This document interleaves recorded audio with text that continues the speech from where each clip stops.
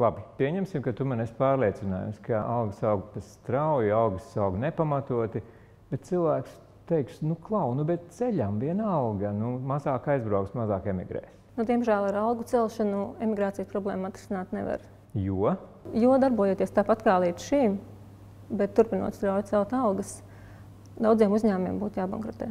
Klau, izstāst lūdzu to mehāniku, kā tas darbojas.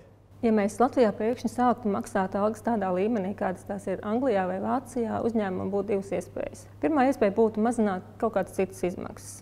Ja to nav iespējams izdarīt, bet ir vēlme turpināt maksāt lielas algas, to var darīt peļņas rēķina. Vienā brīdī uz šīs peļņas rēķina jau sāk rasties zaudējumi. Otrs variants ir celt cenu.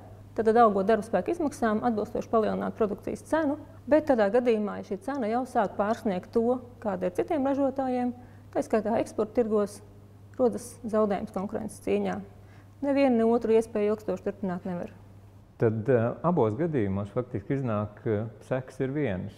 Uh, beidzas ar to, ka uzņēmums ir jātaisa ciet un cilvēki jāatlaiž. Tāpēc risinājums ir viens, lai varētu izmaksāt lielākas algas, ir jāaug darba ražīgumam.